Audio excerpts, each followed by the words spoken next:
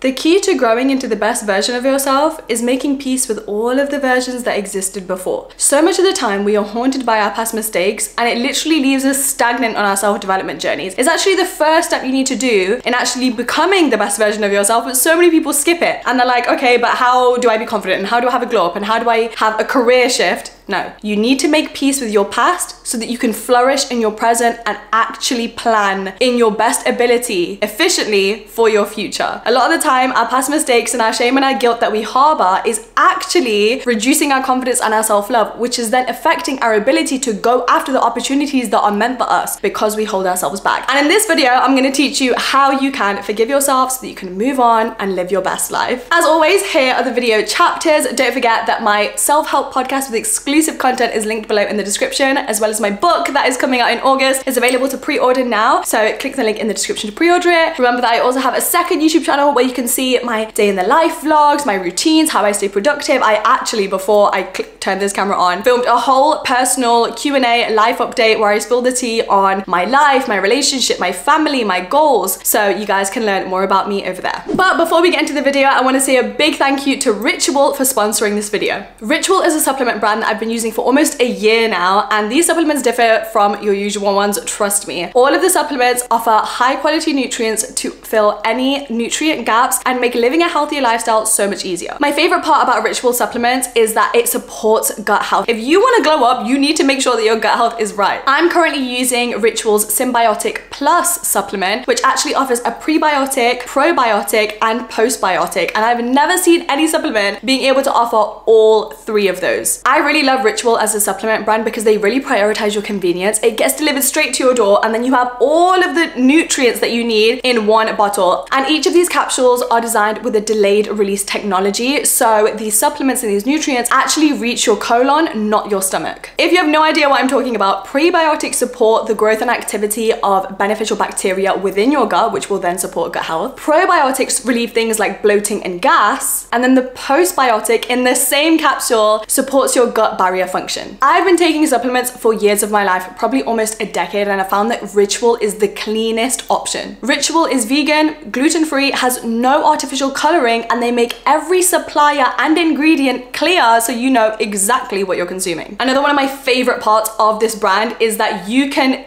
take these supplements on an empty stomach, which is so useful for when I'm on the go. Sometimes I don't eat breakfast and then I forget to take my supplements and before you know it's been a week and I haven't taken any of my supplements. So this is so, so easy for those of you who live a busy lifestyle. So if you're ready to give your body its best shot by not only eating healthy and doing your exercise, but adding these supplements into the mix to make sure that you're living as your healthier self, then you can check out Ritual via the link in my description. Chapter number one, the importance of self-forgiveness. I wanna use this chapter to tell you why you should even care about all of the advice I'm about to give in chapter two and three. So fact number one is, do you really think it's honorable for you to be holding on to all of this shame. I know what you feel, you're like, okay, I hurt this person or I messed up in this instance or I shouldn't have done this. So you're kind of punishing yourself in a way and feeling like you're making up for the mistake you did by holding in all of this resentment, right? And shame and guilt. But what you don't realize is when you hold on to all of those negative feelings consistently, you are now living as an unhealed human. You are not progressing in your life, you are holding on to negative feelings, meaning you are vibrating at a lower level, and therefore you are going through life life as a human who is then more prone to projecting, to harboring even more negative feelings. You are gonna be more likely to form into someone who is a hater, who is jealous, who doesn't know how to be a good friend or a partner because they haven't even dealt with themselves yet. When you can't love and forgive yourself, your capacity to show up for other people is also gonna be capped. So you're literally just shooting yourself in the foot and you're continuing to self-sabotage you, everyone around you, and your life. This leads me on to point number two, the vibrational chart of energy. If you've been here for a while, then you've seen me talk about this a lot. Now here's the thing, when you don't forgive yourself, you are operating at a vibration vibration of shame, which is a vibrational frequency of 20 out of 700 plus that you could be experiencing. Now here's what the vibrational chart doesn't show. 20 is shame, right? Which is the lowest level of consciousness that you could be experiencing. Underneath shame is the vibrational frequency of zero Do you know what zero is? Is death. You are going through life at your literal lowest point, and I'm sorry, but you're doing it voluntarily because you can choose to try and move on. You are not doing yourself any favors by holding on to all of these grudges that you have towards yourself. You are impacting your entire life as a result. I understand that healing is hard. I understand that forgiving yourself is hard. And that's why all of the advice to come is going to be so necessary. But even if you move up to the vibrational frequency of courage right here in the middle, which is just gathering up the strength to try to move past that feeling, to try to think a different way is way better. Step number three, forgiving yourself is so important because when you are harboring these feelings of shame and guilt, your confidence is impacted as a result. Your confidence is going to be so much lower and your entire life is actually going to be brought to a halt because you are not going to allow yourself to actually try new things, to go out there because you're so much in the mindset of punishing yourself and holding yourself back. You don't think you're worthy enough. You think you're going to mess up in that friendship. You don't think that person's going to like you. You don't trust yourself to date or to be in that room or to talk to those people. So you can't even progress in your life, you can't develop. You are so busy living in the past that you can't even bring yourself to fully immerse yourself and experience the joy that you have in your present. Fact number four, your self-love simply won't exist. If you think that you can still have a little bit of guilt for a mistake you did a couple of years ago, but you know, I'm still confident, I'm still out here doing my career, I'm making friends. Your self-love is gonna be capped you will then be going through life as a type of person who doesn't like themselves. You might think you do, but you haven't even reached your full potential of what it could take to love yourself because you still have this little bit of guilt in the back of your head that is holding you back. You are then way more susceptible to having a negative self-talk, to self-doubting, to holding yourself back, to projecting onto other people, to sabotaging all of the future relationships you could have because you haven't learned to love yourself first. You will also be more susceptible to getting into the wrong relationship thinking it's the right one because you haven't come to terms with yourself yet because you haven't been able to set yourself up with the right standard. So when someone comes along and they just love you and they accept you, you take that as great, let's be in a relationship without realizing that your worth and your self-love is so high that you can observe everything else about them to see if they're even worthy of a place in your life. But when you don't see yourself as the prize and when you don't see yourself as this amazing, worthy person who can set all of these standards because they forgive themselves and they're full of love, you are going to be surrounded with the people that are wrong for you and you're going to settle for your circumstances. And finally, fact number five, our emotions can affect our physical health. Harboring negative emotions then leads to reactions in the brain which release particular hormones and chemicals, which then in turn affect our actual physical health. Everything is connected, everything is stored within the body. It's not just a thought that you're thinking, you're literally putting your entire body under emotional stress. And this is why you can actually get physically sick when your mind is under stress. And those are all the reasons why it's so important to forgive yourself. I hope those few facts have given you some motivation and have opened up your ears for all of the advice that is about to come. So let's get into it. Chapter number two, mindset shifts. The first one is of course you made that mistake. In fact, there's no way you could have avoided doing that thing you feel so guilty about. Your entire life journey influenced you in a way where you had to make that mistake. Your entire life path was leading you up to doing that thing. It was unavoidable, it was inevitable. You can't judge yourself for doing that thing because if another person had lived your entire life and had been in your shoes and been in your head, they would have done the exact same thing. So don't start beating yourself up thinking, I can't believe I did this and nobody else would have. And everyone else is judging me for doing that thing,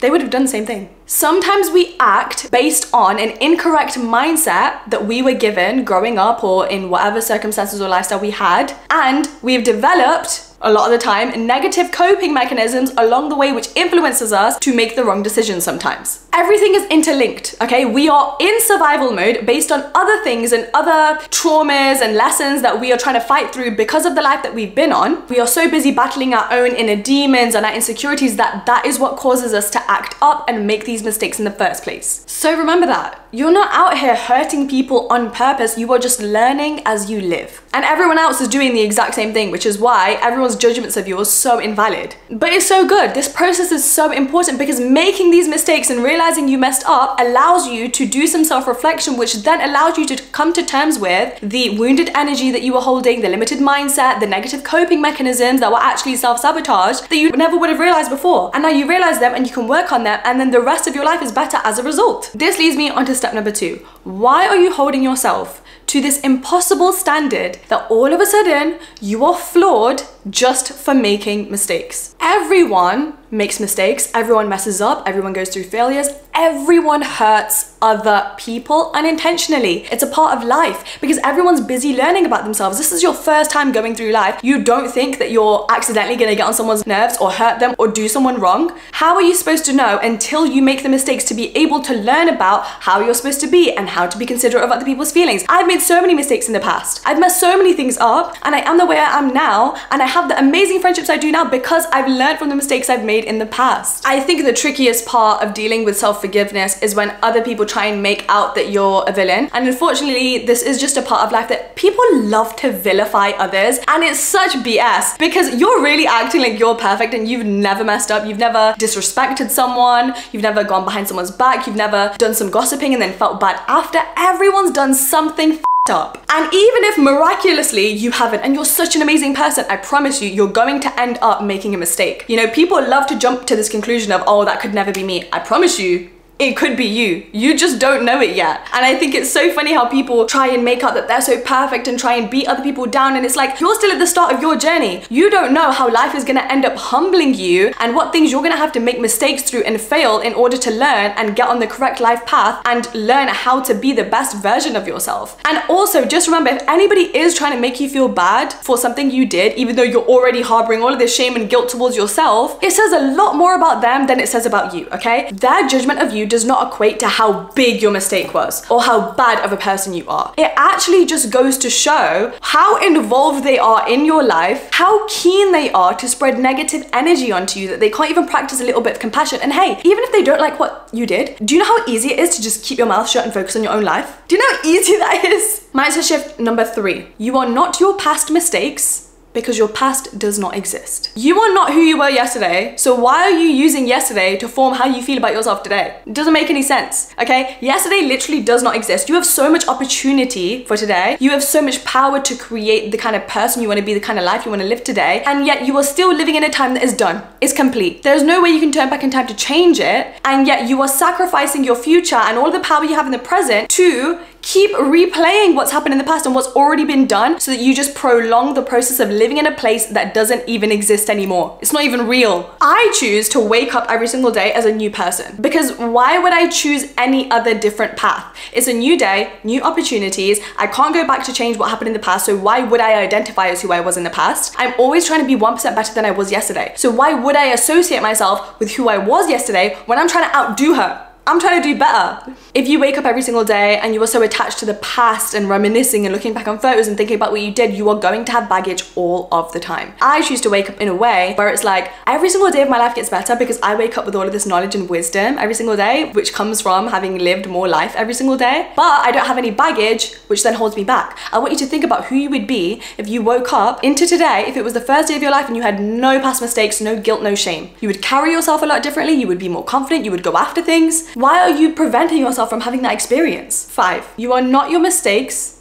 because you are not your actions. Your actions do not define you. A lot of the time, we end up taking actions which don't align with our beliefs and our values, which is why we end up feeling so guilty about them. If our actions could accurately define us, we would never feel guilt or shame around them because it would then accurately reflect everything we feel and everything we believe. Sometimes there's a mismatch, but what actually defines you is the thoughts you have about things, the way that you want to improve, the way that you want to change, the way that you learn from your lessons, the way that you identify, hey, I did this and maybe I shouldn't have. That shows who you actually are and what you want to be and how you want to show up in the world and how you want to treat other people. You feel guilty because you've gone against your own moral compass and your own belief system, and those two things are who you really are. As long as you focus on those two things and you're trying to work on them and improve them, you're good to go. It's fine. This leads us on to six. You are supposed to make mistakes, and if you're not, I'm actually heavily concerned for you. Mistakes are always 100% of the time an opportunity to grow and become a better person. For example, I used to have the very terrible habit of chasing male validation. It was something I harbored a lot of guilt about. I felt so ashamed of myself. I really didn't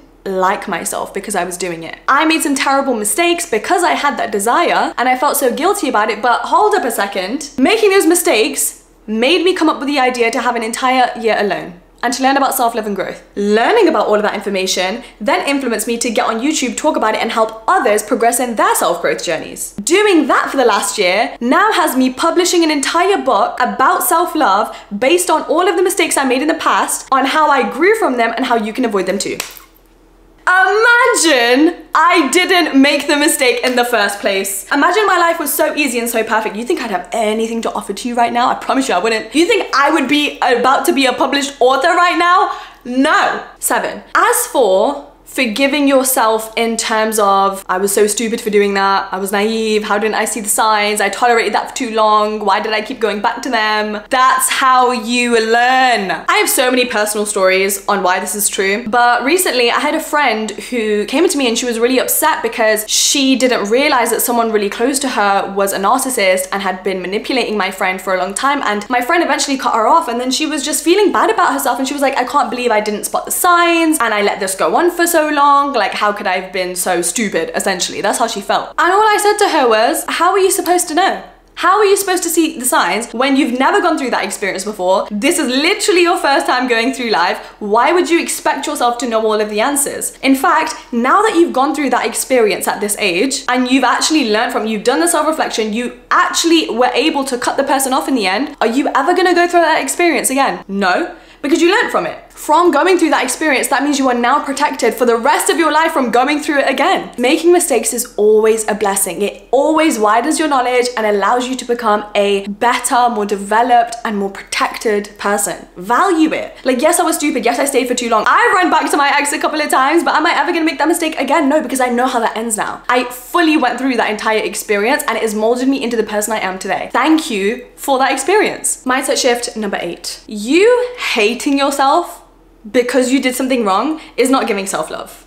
It really isn't. Imagine if you met your younger self and you told them that's how you speak about yourself now. That's how you feel about yourself on a daily basis. That you give yourself that much judgment and that much shame. Imagine that kid, that younger version of you is still inside of you. It's called your inner child. And you, all of this judgment and all of this shame and guilt is basically directed at them every single time you decide to engage in it. You have to love yourself enough to be able to work through it. It's a much more productive use of your time and energy because sitting around feeling sorry for yourself and feeling bad because you shouldn't have done something and it was super out of character and oh my god, I can't believe I did that is self-sabotage. You're not even fixing the mistake. You're just being really effing mean to yourself for no reason. I'm at a point in my life where my entire lifestyle style is centered around self-love. I buy myself flowers, I take myself on dates, I'm so nice to myself. If I were to mess up, oh my god, it's so out of character for me to be mean to myself and beat myself up about it. I don't deserve that. My inner child doesn't deserve that. I know what's in my control and what's in my best interest and what's gonna raise my vibration. And that is trying to work through the mistake, figuring out how I can self-reflect to avoid making it again, learning how to fix it if I've hurt someone's feelings, how can I communicate, how can I solve that problem. That way, I'm doing much better for myself, my growth, the world, other people in my life. And the last mindset shift is your mistakes are necessary redirections. Now, before I go into this, remember,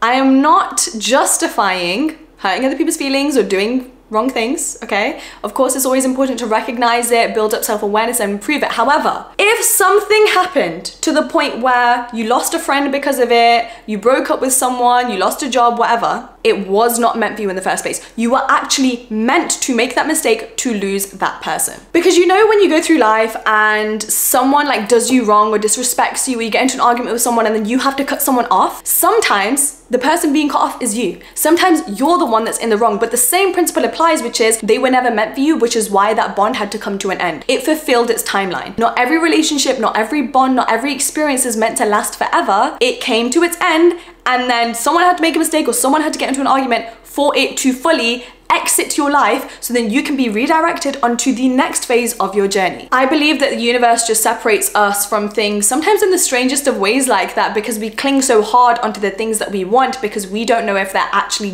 good for us. And before you jump to a person or an environment or a situation's defense thinking, no, I would have loved to have that or no, they were a really good person, blah, blah, blah, you are not in that situation anymore because you have no idea how it would have ended even if it was so good, even if you love the idea of it, you don't know what would have happened if you were to continue on that path or if you were to get that thing. I promise you. Because if you were meant to have it, I promise you would have it.